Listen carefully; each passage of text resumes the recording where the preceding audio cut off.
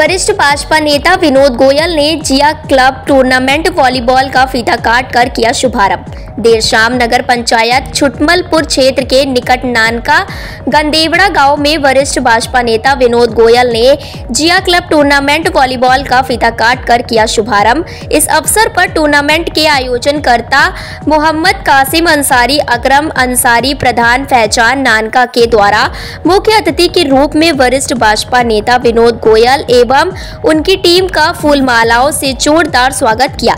इस अवसर पर वरिष्ठ भाजपा नेता विनोद गोयल ने खिलाड़ियों का उत्साह वर्धन किया। उन्होंने कहा, शरीर को स्वस्थ रखने के लिए खेलना व्यायाम के बराबर रहता है। इससे शरीर चुस्त चुस्त और दुरुस्त रहता है। इस अवसर पर मुख्य रूप से राजपाल सिंह, मनोज पुंडीर, विशाल बंसल, राहुल गोयल, राजकुमार गर्ग, मनु भौरववाल कन्हैया बंसल व अग्रवाल महासभा, विशाल बंसल, अक्रम अंसारी आदि गणमान्य लोग उपस्थित रहे।